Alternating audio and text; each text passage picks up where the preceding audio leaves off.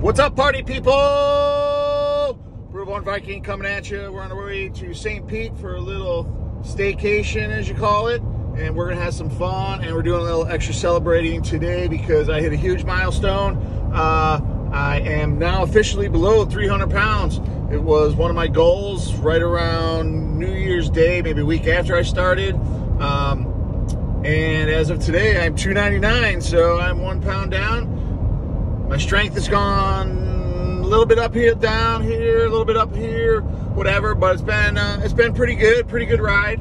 And just want to give you a few tips if you're looking to lose weight or whatever you're trying to do.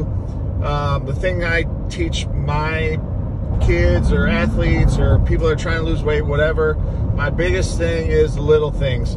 Work on the little things I didn't lose the weight that I did by crash dieting or fasting or counting my macros or keto diets. Didn't do it. I had carbs. I ate late at night sometimes. I drank beer. So I did those things. But what I did was cut down on a lot of stuff that I didn't need. Um, and when I tell people this, I say it over and over again it's the little things. So when you're at dinner and there's that last piece of bread there, don't take it. That's just one thing. Get rid of it. Don't eat it.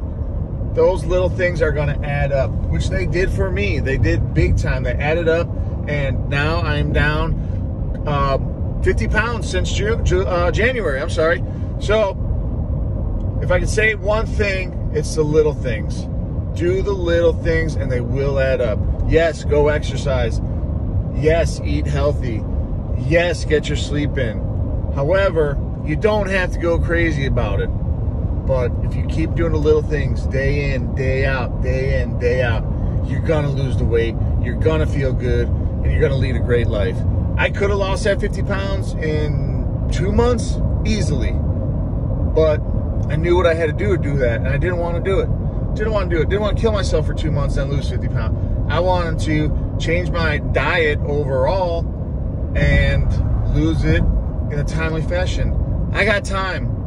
And especially the younger kids, or if you're younger, you got plenty of time. Take a year of just doing the little things and they will add up. And after that time, you're going to have a lifestyle that's going to continue for the rest of your life. So, having said that, just a few of my tips that I've done that have really helped out. One, don't eat late at night.